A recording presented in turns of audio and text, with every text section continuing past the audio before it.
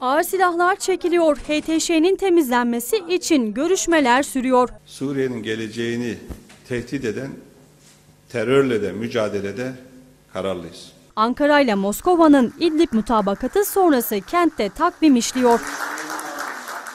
Soçi'de 15-20 kilometre derinliğinde silahlardan arındırılmış bölgenin kurulması konusunda mutabakat imzalanmıştı. Buna göre muhalif unsurların ağır silahlarını silahsızlanma hattından 15 Ekim'e kadar çekmesi bekleniyordu. Öngörülen takvimden önce ağır silahlar çekilmeye başlandı. Ulusal kanala konuşan yerel kaynaklarda ağır silahlar konusundaki sürecin bugün tamamlanacağına dikkat çekti. Silahları Türkiye'ye müzahir Ulusal Özgürleştirme Cephesi'nin çektiğini belirten kaynaklara göre İdlib'in güney sınırını kontrol eden Ceyşül İzze adlı örgüt mutabakatın dışında.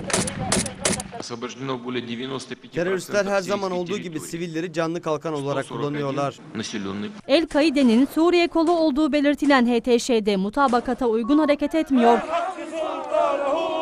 Soçi zirvesinde terör örgütünün tamamen silahsızlanma hattından çekilmesi öngörülüyordu. Ancak HTŞ henüz bölgeden çekilmedi.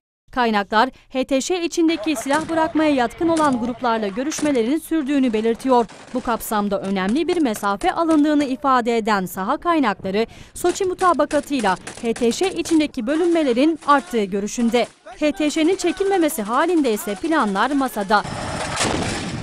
HTŞ içindeki bazı gruplara lokal operasyonların yapılabileceğine dikkat çeken kaynaklar, imha politikasını sahada Suriye ordusu ya da Türk ordusuyla ÖSO'nun uygulayabileceği görüşünde.